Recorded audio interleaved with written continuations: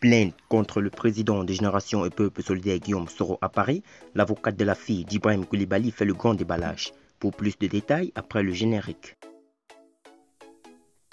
Avant de commencer, abonnez-vous à la chaîne et activez la cloche de notification car cela va vous permettre de ne plus manquer les prochaines vidéos.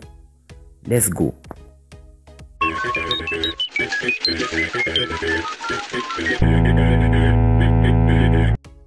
Nous en savons un peu plus sur la motivation de la plainte déposée contre Guillaume Soro en France.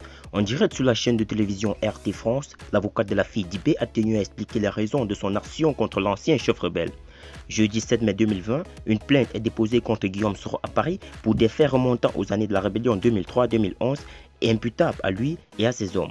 C'est du moins ce qu'allègue la famille plaignante qui espère que justice leur sera rendue.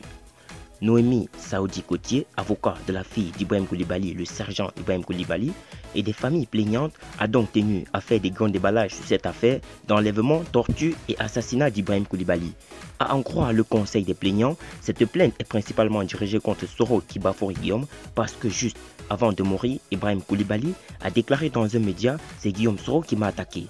La bataille entre pro-Soro et pro-Ibrahim Koulibaly à Boaké en 2004 intervient dans une logique d'épuration des hommes d'Ibrahim Koulibaly, argumente l'avocat.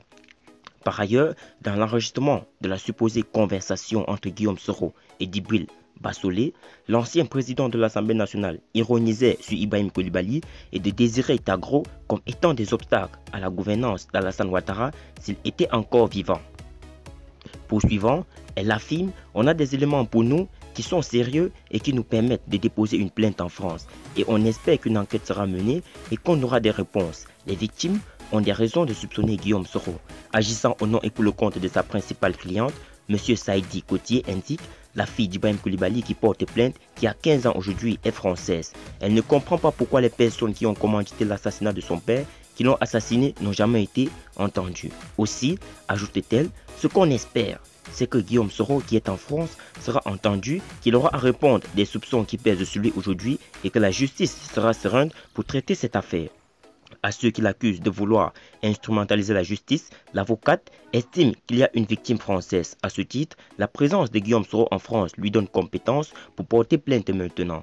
Ces bons concours de circonstances, ce n'est pas une plainte d'opportunité parce que les victimes, ça fait des années et des années qu'elles se battent pour essayer de mettre un thème à l'impunité, précise-t-elle.